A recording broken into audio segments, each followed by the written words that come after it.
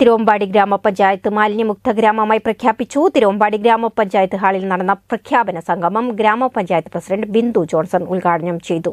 Vice president K A Abdurahman അധ്യക്ഷത വഹിച്ചു.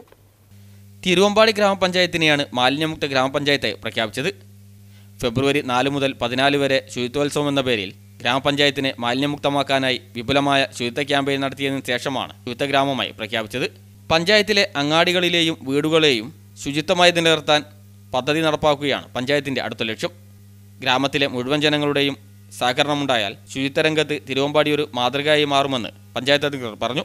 ഹരിതകർമ്മസേനയ്ക്ക് കൃത്യമായി യൂസർ ഫീ നൽകാത്ത കുടുംബങ്ങൾക്കും സ്ഥാപനങ്ങൾക്കുമെതിരെ ഉടൻ നടപടി സ്വീകരിക്കും.